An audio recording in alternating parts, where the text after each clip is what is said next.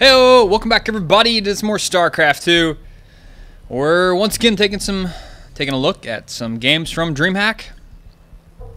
This is a new best of 3 series. Let's go ahead and introduce our two new players. The top left-hand corner of the map of Akilon Wastes. It is Millennium's ForGG. And on the southeast side of the map, a man who uh, had just recently won the... I don't know if this is the single biggest prize ever in StarCraft history, but it probably is. Uh, I'm from drawing a blank, but he won the winner-take-all $100,000 tournament at DreamHack. SOS. that dude, that dude was... I've never seen anybody so happy to win a StarCraft event. That was quite crazy. But yes, uh, a now uh, new 100,000 air SOS, our red Protoss player in the bottom right hand corner of the map. So once again, it's Monday, the beginning of the week, and more StarCraft 2 commentaries. Uh, as usual, I post, post all my new casts uh, on Monday. If you guys are, you know, just curious about my schedule, new StarCraft every Monday. So, up in the top left, ForGG, Going for a barracks opening first. And SOS going for a fairly early... I don't even... This is definitely... I don't, I don't think this is a scout. I wonder what he's going to do here. It might be a scout. Yeah, it's definitely going to look for that proxy or uh, command center down there. Um, I was thinking he was going to proxy, but no, he already has his gateway down.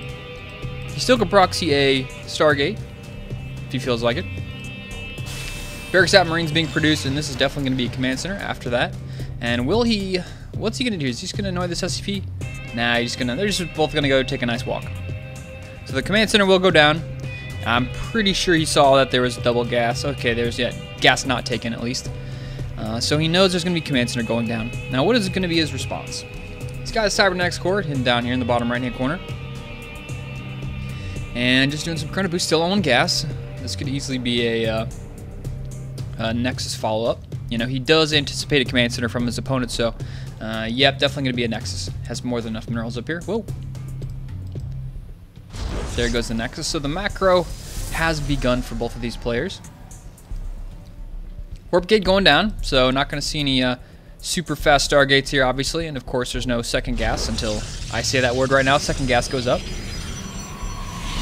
But this SCV, he's just, he snagged himself some minerals.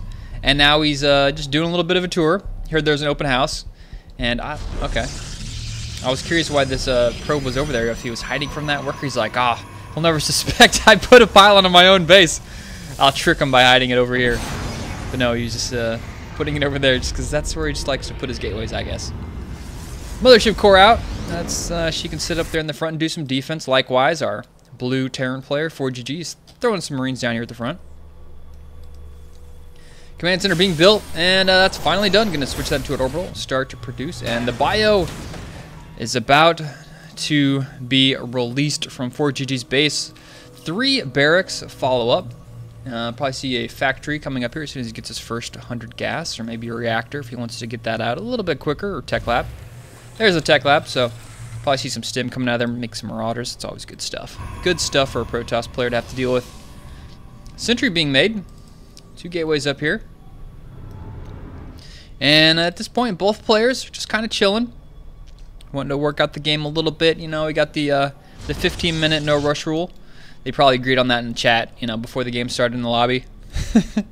I'm pretty sure a lot of pro players do that. Just like, all right, let's just agree not to attack each other for the first 15 minutes. Drag this out and see what happens. So Stim's going down.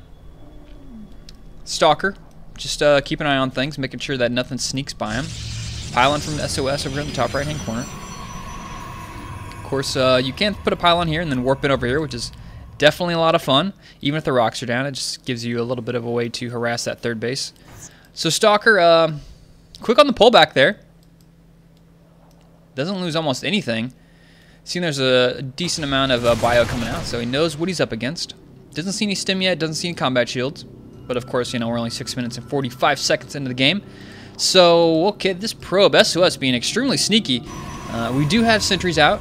with a, a, a okay amount of energy. We do have a mothership core. Okay, we did have a mothership core to defend this, but there's going to be there's not much to defend this here. We've got a lot of Marines. Stim is not yet done. Stim's only halfway done, but he's got a Stalker, three Sentries, and a two Zealots, three Zealots. He should have enough to deal with this. Force field's gonna be pretty bad, to say the least.